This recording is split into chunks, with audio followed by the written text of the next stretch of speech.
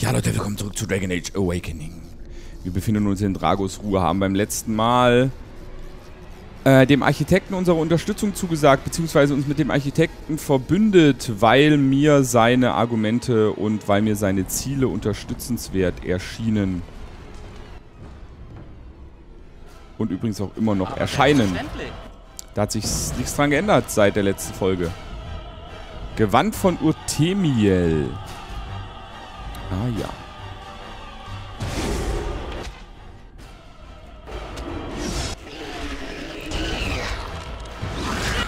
Oh, oh, oh. Wirbelwind. Hat er überhaupt irgendwen getroffen? Oder standen die alle zu weit weg?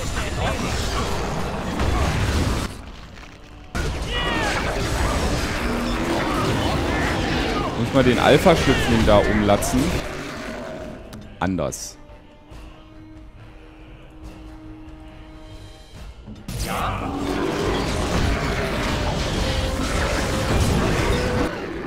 Weil bei Ogren sieht schon wieder nicht so gut aus.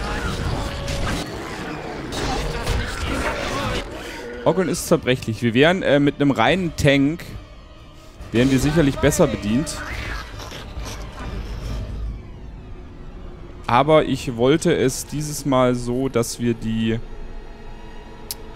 dass wir die Charaktere auch so skillen, wie sie vom Spiel eigentlich vorgesehen sind. In Origins hatte ich ja die Mod installiert dass äh, ich bestimmen kann, konnte, wer, na, dass quasi alle verteilten Punkte resettet sind. Ich konnte die äh, Klassen neu verteilen, die Spezialisierung und ich konnte alle Fähigkeitenpunkte neu verteilen. Ich konnte also alles neu verteilen. Aber selbstverständlich. Upp. Einmal die Lähmung. Sind das zwei? Moment. Hast du es jetzt schon losgeschickt? Ich hoffe nicht. Was jetzt?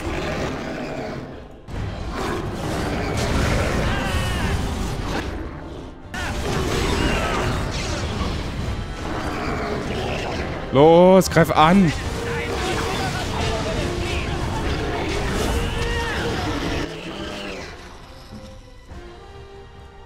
Müssen wir doch nochmal die Einzellähmung rausholen. Der Oger hat widerstanden. Aber wir haben ja zum Glück unseren Tanky-Bär.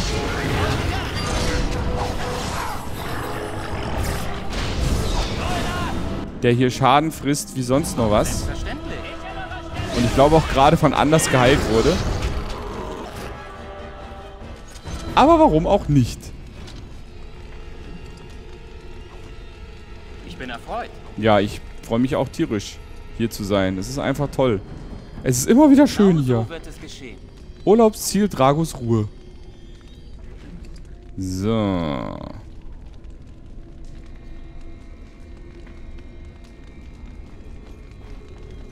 So, jetzt kommen wir noch tiefer runter. Da unten ist wahrscheinlich wieder so ein... Genau, das ist ein T-Winterturm. Also hier unten ist einfach wieder die Aussparung für die Kristalle. Und da haben wir dann jetzt wahrscheinlich noch so einen Turm. Dann haben wir alle vier aktiviert. Äh, und dann dauert es auch nicht mehr lang, bis es zur Mutti geht. Wer hat uns denn da umgestoßen? Und warum überhaupt?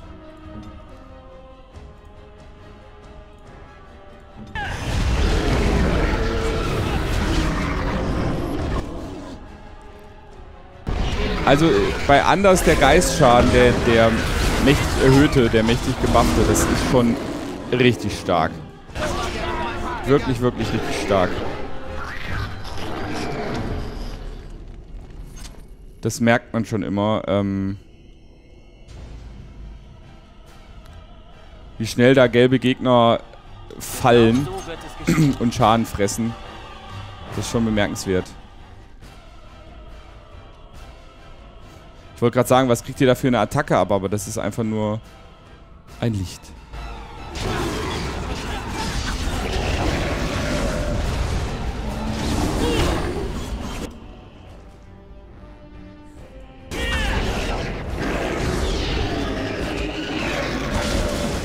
Lass mal Nathaniel in Ruhe, du Kackvieh.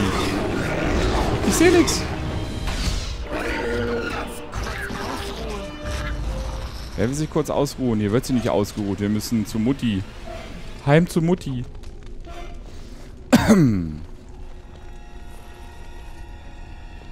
so, was steht da unten noch für ein Fatzke?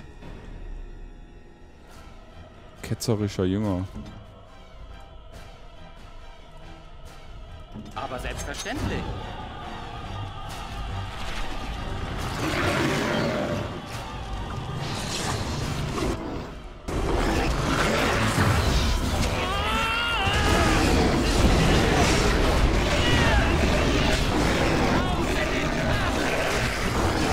Wir uns hier durchmetzeln. Und solange wir nicht von irgendwem überwältigt werden, sind wir einfach unaufhaltsam. Da hat Ogden seinen Stufenausstieg.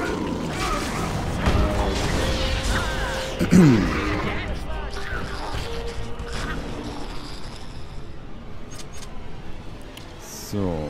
Alpha-Larve der Kinder mit einem Granat. So, und dann Fleischbeutel. Fleischbeutel, Kristall. Das war zu erwarten. In Ordnung. Ich bin erfreut. Ja, es ist, ich freue mich immer, wenn Genau du dich so freust. Alle freuen sich, es sollte sich viel mehr gefreut werden. Noch ein Kristall für uns. Sollten wir aber langsam mal genug haben, oder? Zack. Zack. Aber selbstverständlich. Zack. Zack. Äh, ich sag schon mal gleich, Quest absolviert. Wir haben alles, okay.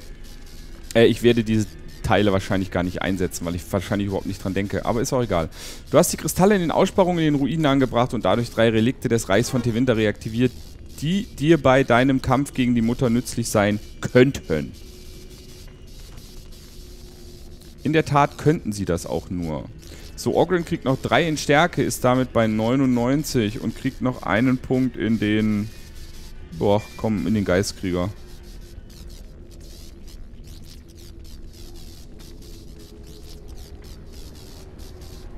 Oh, und wir sind hier, wir sind hier tatsächlich... Wir sind hier tatsächlich bei Mutti. Ich hack nochmal auf die F5-Taste. Und dann gucken wir mal, ob das jetzt schon direkt der Bosskampf ist. Ich weiß es gar nicht. Oder ob wir jetzt noch ein bisschen Dungeon haben. Ich kann es euch nicht sagen. Offenbar ist es direkt der Bosskampf. Gebiet freigeschaltet, das Nest. Na dann, wollen wir mal. Ich hätte nicht gedacht, dass es so schnell geht.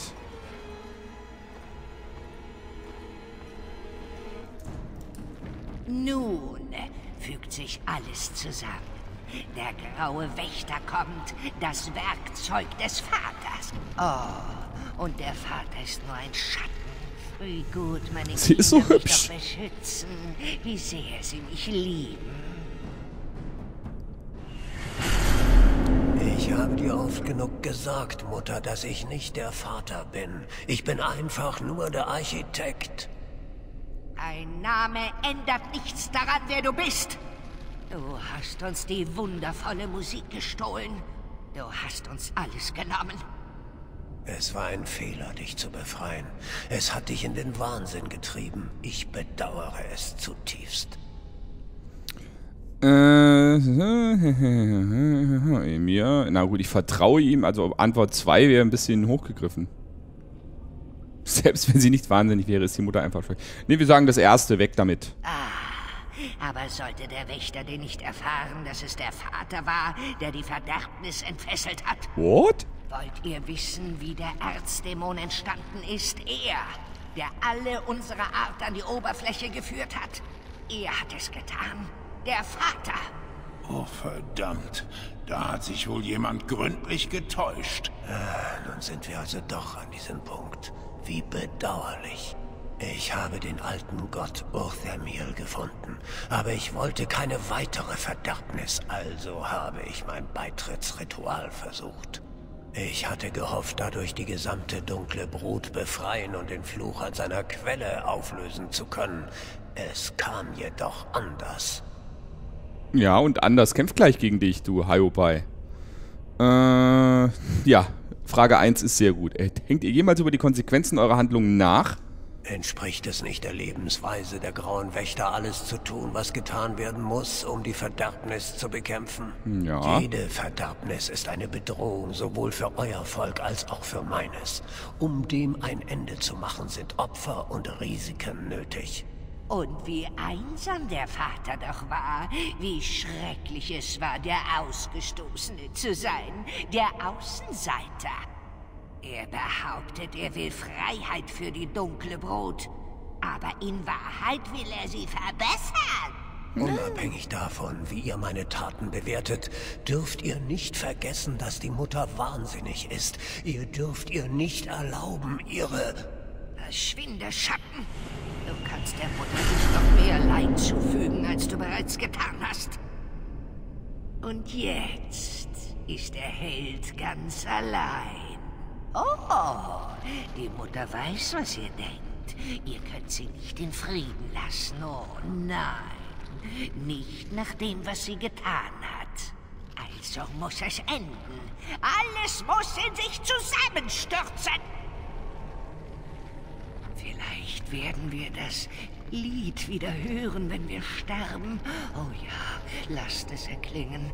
Lasst es erklingen. Oh. Oh. Spezialfähigkeiten. In dieser Schlacht hast du Zugriff auf Spezialfähigkeiten, die durch die neuen Symbole auf der rechten Seite des Bildschirms angezeigt werden. Du kannst eine Fähigkeit einsetzen, indem du einen Linksklick auf das entsprechende Symbol machst. Verlangt eine Fähigkeit ein Ziel, musst du dieses auswählen und dann erneut einen Linksklick machen. Klingt einfach. In der Zwischensequenz ist mir eben aufgefallen, dass äh, Nathaniel und ich aussehen. Äh, wir sehen aus wie Brüder. Wir sind Brüders. Sowas kommt hier aus dem Boden. Riesiges Tentakel, riesiges Tentakel.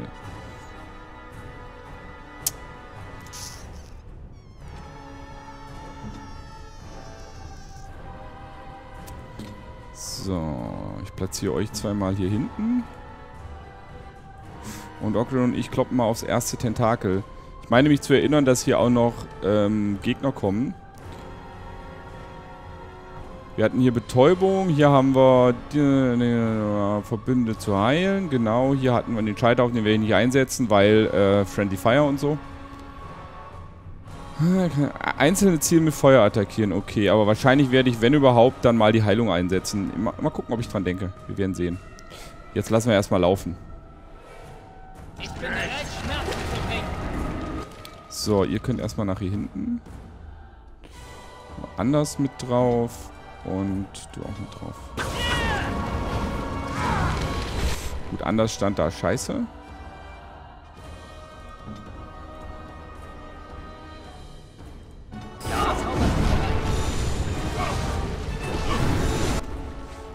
Ogren, Ogren, Ogren. Ich sehe mich überhaupt gar nicht, aber ich kümmere mich hier um die Tentakel. Das ist schon mal nicht schlecht. Hat Ogren gerade so ein Ding geschlürft? Ist ja nicht zu fassen. Steht da eigentlich, kann einen Verbündeten heilen? Nein, die macht Verbündete zu heilen. Okay. Was jetzt? Ogren steht da einfach echt beschissen. Geh mal kurz da weg. Ich probiere das jetzt mal aus. Vielleicht kann ich es nur einmal einsetzen. Cool. Offenbar kann ich jedes nur einmal einsetzen.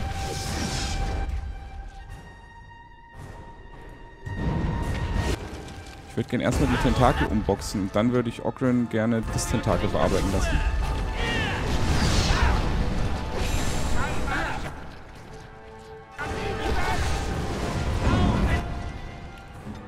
Ja, du gehst auch noch auf das und du gehst auch noch mit auf das. Okay. So, jetzt hau ich das noch um. Dann helfe ich bei dem noch mit. Und jetzt kommen nämlich Larven. Mir war nämlich so.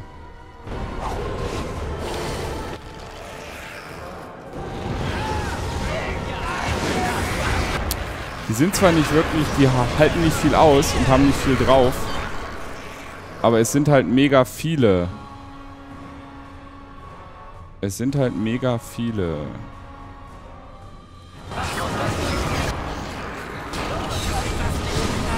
Ja, die sind, die sind halt, bei uns sind die Two-Hits.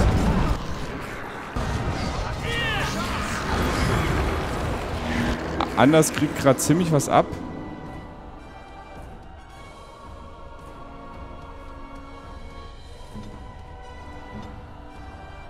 Ich mach die mal wieder auf frei. Dann laufen die nämlich auch weg.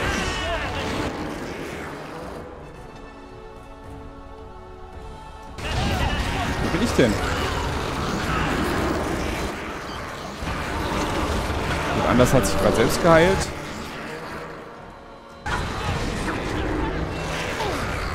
Ich muss die beiden erstmal anders vom Hals schaffen. Hier spielt die Musik. Und jetzt spielt die Musik hier. Hier, habe ich gesagt. Hier. Da. So, und jetzt kommen natürlich noch mehr. Glaube, ich konzentriere mich mal auf die Mutti. Unglaubliche Tempo,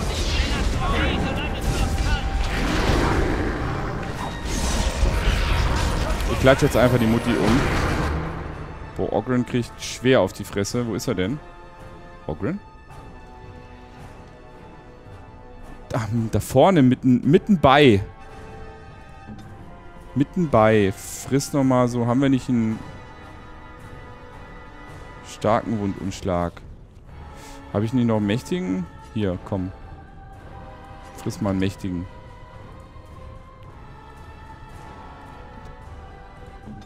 Es ist, äh, hakt ein wenig.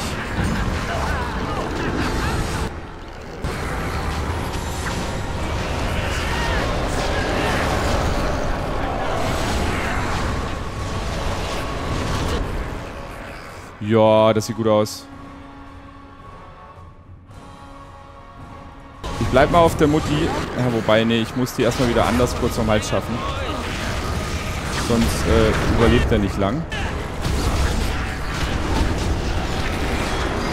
So, und jetzt. Oh, Ogren ist, Ogren ist down. Mal wieder. Da haben wir's.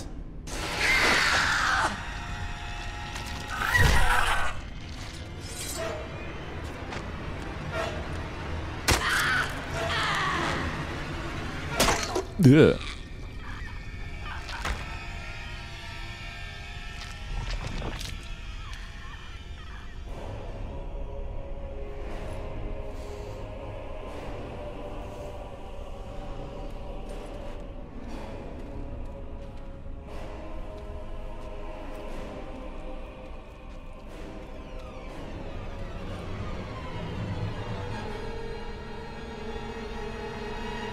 Da hat sie es dahin gerafft. Da hat es sie dahin gerafft. Nach dem Tod der Mutter zerstreuten sich die Truppen der dunklen Brut und flohen zurück in die tiefen Wege. Die Überfälle auf Amaranthine kamen augenblicklich zum Erliegen. Muss ich drücken? Ah ja. Der Architekt hielt sein Wort und versammelte seine verbliebenen Jünger, um mit ihnen dem Rest seiner Art in die tiefen Wege zu folgen. Als die grauen Wächter in anderen Ländern erfuhren, dass der Architekt noch am Leben war, machten sie sich entsetzt auf die Suche nach ihm.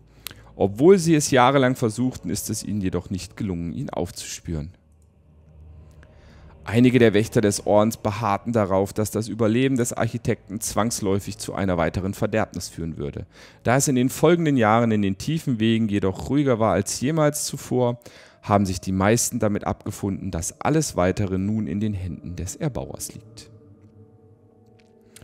Die Berichte über die heldenhafte Rettung Amaranthines durch die Grauen Wächter breiteten sich wie Lauffeuer aus. Als bekannt wurde, welche gewaltige Verluste die Wacht zu verzeichnen hatte, wurde das Altum mit großzügigen Spenden aus ganz Ferelden bedacht.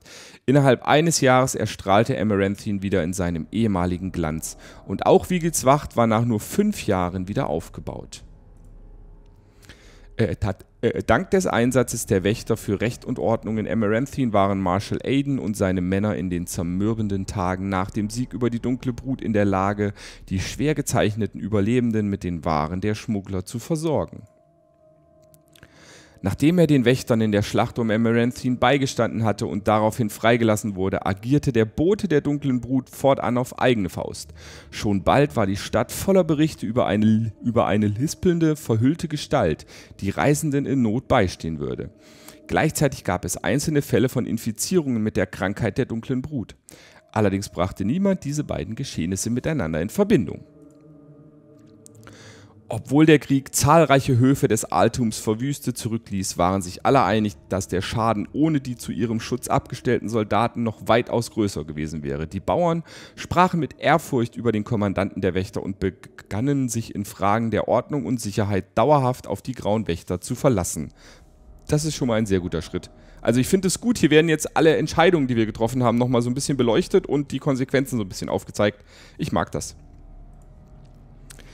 Vigils Wacht sah sich alleine einer ganzen Horde der dunklen Brut gegenüber. Die Verteidiger der Wacht waren den Truppen der Mutter zahlenmäßig deutlich unterlegen. Und das war wahrscheinlich der Grund, dass wir so viele Soldaten abgestellt haben, dass es da einfach nicht gereicht hat. Die stabilen Mauern der Wacht hielten jedoch sämtlichen von den Ogern geschleuderten Felsen stand, und jeder einzelne ihrer mit Silberit gerüsteten Soldaten erschlug ein Dutzend der dunklen Brut, bevor er selbst überwältigt werden konnte. So hielt die Wacht stand.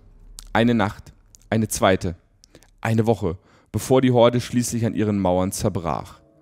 Vigils Wacht erwarb sich einen nahezu legendären Ruf und die wenigen Überlebenden wurden in Liedern und Legenden unsterblich.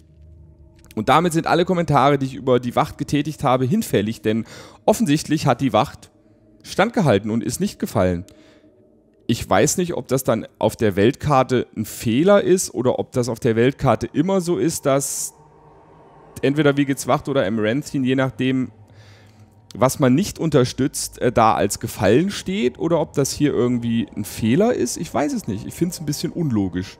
Weil man denkt, es steht ja auch da, Wiegels Wacht war gefallen oder irgendwas stand halt da, wenn man drüber gefahren ist auf der Weltkarte. Hm. Finde ich jetzt ein bisschen komisch. Aber gut, egal. Wiegels Wacht hat äh, standgehalten und alles ist gut.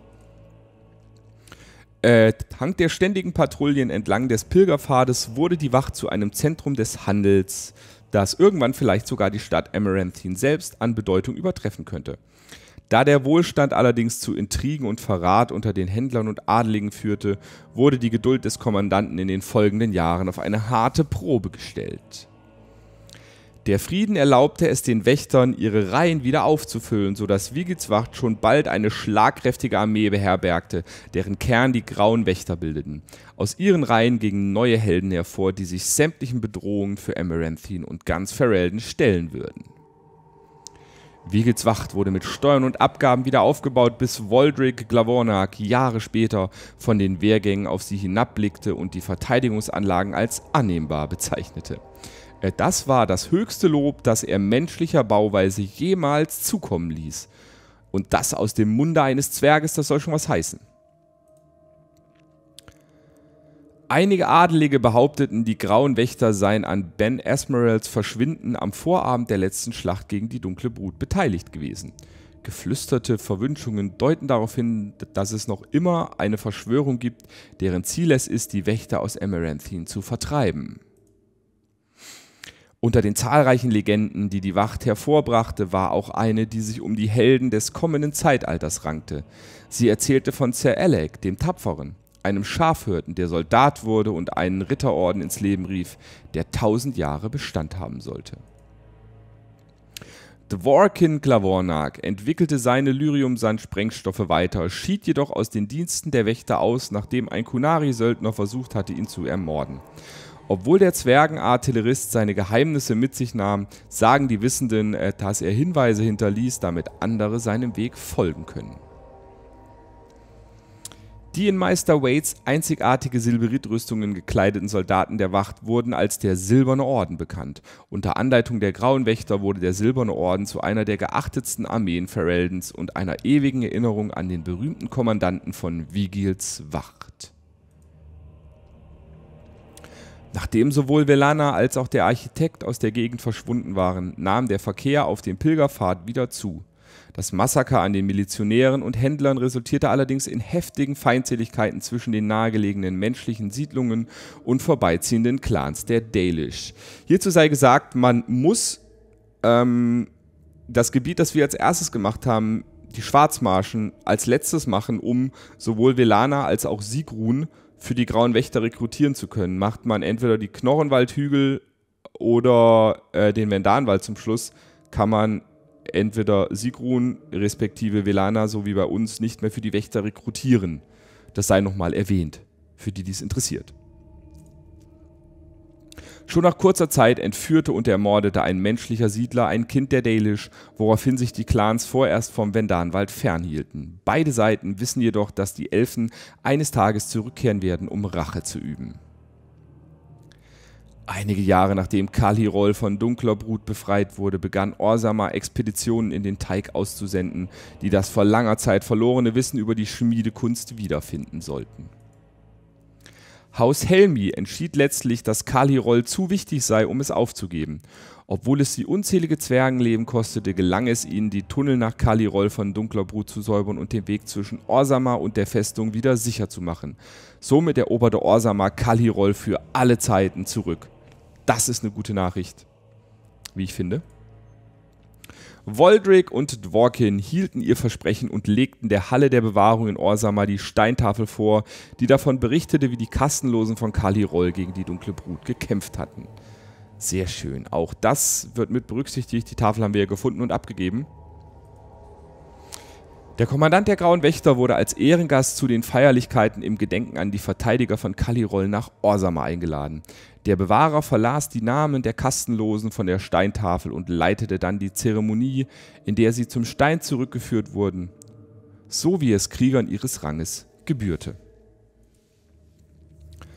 Im Laufe der Zeit gerieten im Altum die Geschichten über Geister in den Schwarzmarschen in Vergessenheit, sodass sich langsam auch wieder Siedler in diese Gegend vorwagten. Obwohl die Skolaren davor warnten, dass der Schleier dort dünn und das Gebiet gefährlich sei, war den Leuten nur wichtig, dass die Schatten nicht länger von verängstigtem Geflüster erfüllt waren. Das Dorf wurde nach und nach wieder aufgebaut, das Anwesen der Baroness wurde zweimal neu errichtet und wieder bewohnt, Zuerst von einem reichen Händler, dann von einem orlesianischen Magier. Nachdem beide einen mysteriösen Tod gefunden hatten, wurde das Anwesen vollständig abgerissen und für alle Zeiten gemieden. Anders blieb noch einige Jahre bei den Grauen Wächtern und bildete die nächste Generation von Magiern für den Orden aus. Als jedoch der Turm des Zirkels ihn, sehr zum Unmut der Templer, bat, sie über das Wesen des Architekten aufzuklären, öffnete Anders dem Kommandanten der eröffnete Anders dem Kommandanten der Grauen Wächter, dass seine Zeit im Orden beendet sei. Dennoch kehrte Anders nach nicht einmal zwei Monaten wieder zurück. Letztlich hatte er bei den Wächtern nicht nur ein Zuhause, sondern auch Freunde gefunden. Ach, wie schön. Als die Mauern von Wiegelswacht fielen, mussten die überlebenden Verteidiger mit ansehen, wie Velana unter den Trümmern begraben wurde. Als diese später weggeschafft wurden, war allerdings keine Leiche zu finden. Velana war einfach verschwunden. Nachdem er einige Jahre bei den Wächtern verbracht hatte, erkannte Nathaniel, dass ihm dieses Leben nicht entsprach. Er verabschiedete sich von seiner Schwester Delilah und ihrem Sohn und brach dann auf, um sein Glück zu suchen. Sein Neffe eiferte Nathaniel nach und schloss sich später selbst den Grauen Wächtern an. Er stieg bis zum Kommandanten der Wächter auf und führte den Namen Hau zu neuem Ruhm. Ach, sehr schön. Da hat sich Nathaniel bestimmt gefreut. Ich muss mal einen Schluck trinken. Sehr viel zu lesen am Ende, wie in Origins auch schon.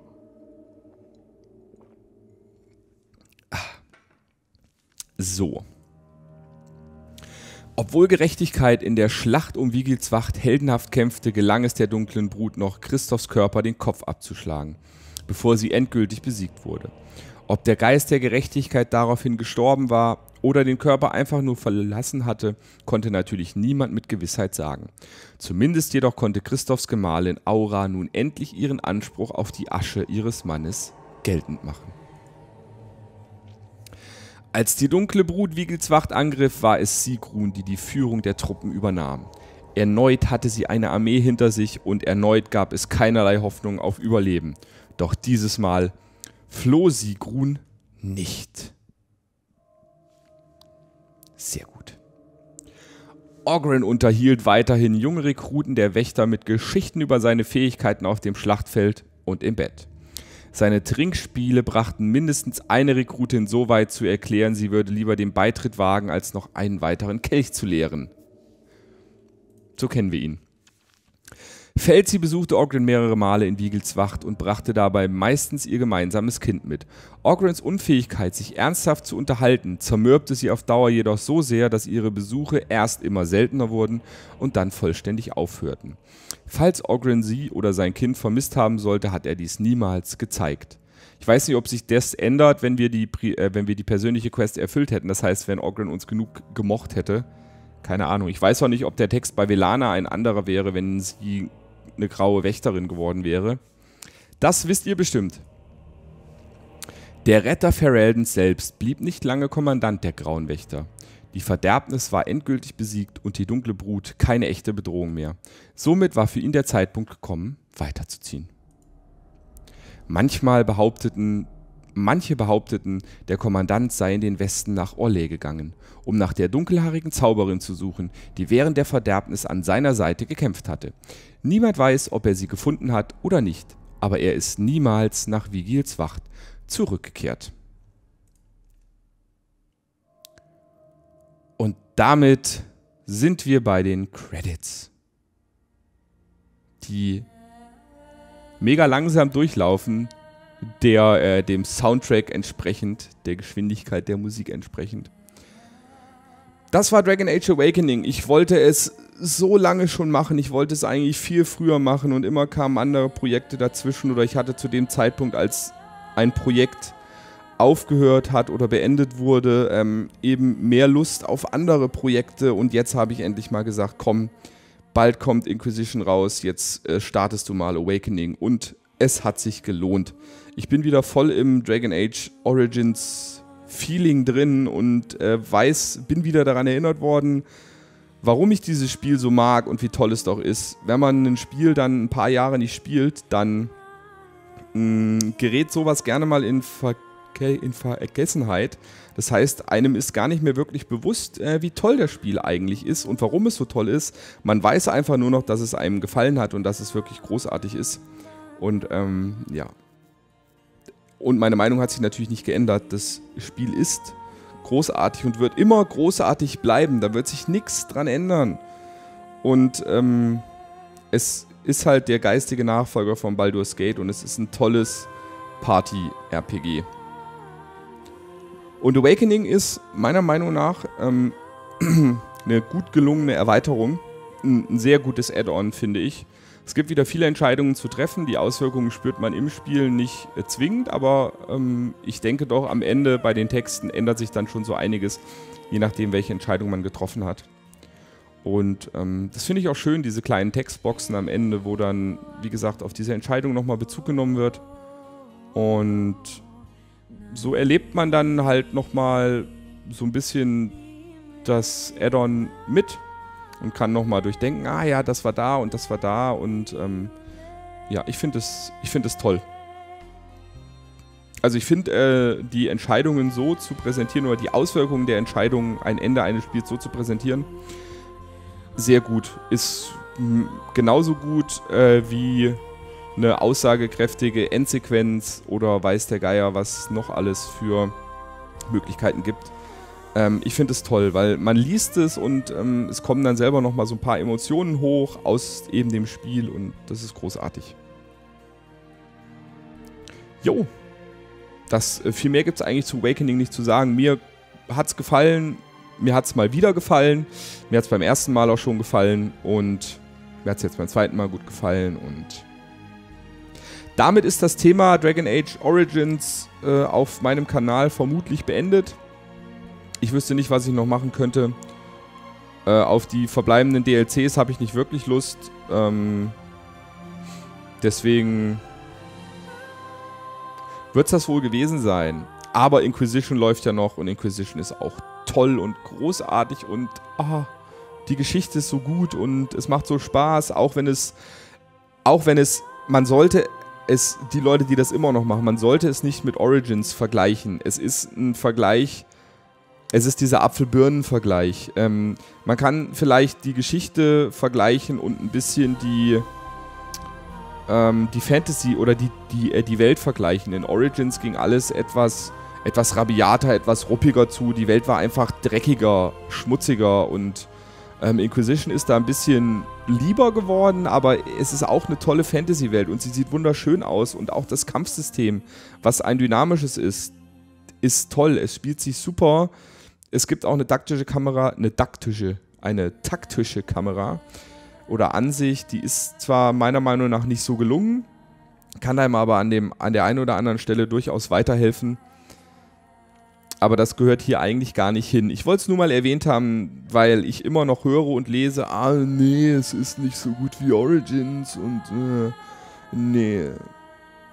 Ich würde davon Abstand nehmen, diese beiden Spiele zu vergleichen, auch wenn sie aus demselben Hause stammen und wenn sie derselben Spielereihe angehören, so muss man doch allein vom Gameplay her sind sie nicht zu vergleichen. Das ist wie wenn ich einen Shooter, das ist wie wenn ich Call of Duty mit ähm, Fire Emblem vergleichen würde. Das hinkt halt einfach. Meiner Meinung nach. Gut, jetzt sei euch noch gedankt, die hier fleißig bis zum Ende zugeschaut haben. Und ich hoffe, es hat euch gefallen. Ich hoffe, einige kannten Awakening noch nicht. Ich danke auch für ähm, rege Diskussionen in den Kommentaren, für einige nützliche Tipps in den Kommentaren. Wie immer, da seid ihr ja immer immer für zu haben und immer zu aufgelegt, mir zu helfen, mich zu unterstützen. Und ich äh, bin dann auch immer gerne gewillt, dass, wenn auch mit gewisser Verzögerung, weil ich ja vorproduziere, ähm, das doch dann immer äh, mir der Tipps immer anzu mich der Tipps immer anzunehmen und ähm, wenn ich sie für sinnvoll erachte, auch umzusetzen. Jo, ich würde sagen, ich lasse euch mit den Credits alleine. Die meisten schalten jetzt wahrscheinlich eh ab oder haben schon abgeschaltet, aber äh, ich lasse die Credits jetzt einfach durchlaufen, sage euch nochmal danke, danke, danke fürs Zuschauen und hoffe wirklich, es hat euch gefallen und ähm, hoffe, ihr habt auch Spaß mit Assassin's Creed 2 und Dragon Age Inquisition, was auf dem Kanal aktuell läuft. Was dann, also erstmal wird es bei den beiden Projekten bleiben. Äh, ein drittes Projekt kriege ich, krieg ich nicht gestemmt. Das läuft nicht. Oder ich müsste irgendwie drei Projekte, aber dann irgendwie Montag eine Folge davon, Dienstag eine Folge von Projekt 2, Mittwoch eine Folge von Projekt 3 und dann kommt man irgendwie in den Spielen auch nicht voran. Deswegen erstmal läuft jetzt eine ganze Dragon Age Inquisition läuft sowieso ewig lange. Das könnte Skyrim, na, Skyrim-Dimension, weiß ich nicht. Dafür habe ich es noch nicht lang genug gespielt, um das einschätzen zu können. Aber es wird auf jeden Fall, denke ich mal, länger als Origins oder kommt zumindest stark an Origins ran von der Partzahl her. Könnte ich mir zumindest eine, jetzt zu diesem Zeitpunkt vorstellen. Ja. Und mit diesen Worten sage ich nochmals Danke und ciao, ciao. Bis demnächst.